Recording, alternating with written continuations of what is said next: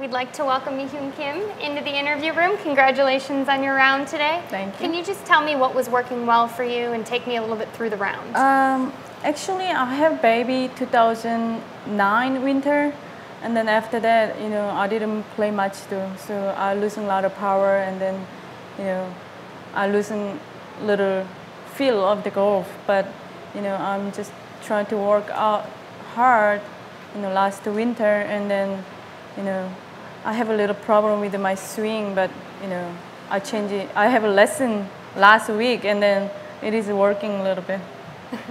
so the swing felt good yeah. today.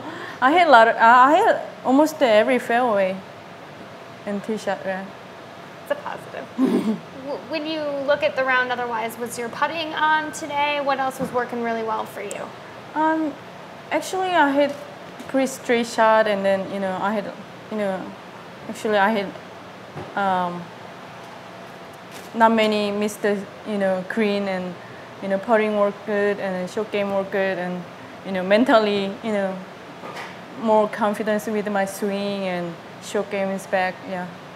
I know there was a lot of predictions for rain today and the weather stayed nice. Did that help with the scoring conditions? Uh, actually, you know, uh, I thought a rain coming like after two o'clock or three o'clock, so I just trying to under my rain pants on it since you know 18th hole. So I was so hot, you know. Uh, but you know, but it, it, is, it is better than you know rain coming. But you know, wind is a little uh, little bit more than you know normal, so it is a little bit hard, but better than rain come few low scores out there today. How is this course playing, and can you shoot some pretty low numbers out here? Um, yeah, actually, I just worry about the when I practice around. I, I just worry about the you know, ball. You know, fairway is very you know, uh, muddy. Mm -hmm. So I just worry about that. But you know, when before when I start, I saw the you know rule rule sheet. Uh, we have prepare line, so it is helping me you know a lot because uh, I'm not a long hitter, but so but I keep you know I try to keep fairway a lot and then try to you know pedal light. Questions? Any, uh, any turning points, like a long putt or? I can't hear. Oh, that's okay. Were there any turning points for you? A long putt or something that really got you going during your round today? Uh, I don't know. I changed the putter last week. I changed the putter last week and then you know trying to you know practice a lot with a new putter, and then it is working good.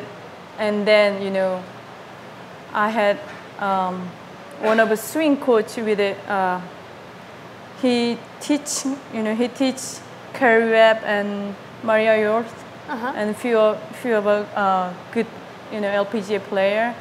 He gives some uh, little tip with my swing. So I just trying to you know change a little bit of swing and then it is working good. You know, it is hit some little far than before and little straight than before. And is there one hole that really stuck out for you today? Did you make a really good birdie on one hole that? Um, actually, what is it? Long par three. Um, I don't know what number is it. Front front nine. Front nine. I'd have to look it was up. it like 195 something? And into the wind, I hit uh, really good fiber wood, but you know, I make, I, I just like wind is gusting and then I try to, I, I just, you know, middle of the, I hit the middle of the green, but I made a like 30 feet putt. Nice. Yeah, it is nice. Any more questions for me? Wonderful. Thank you very Thank much. You.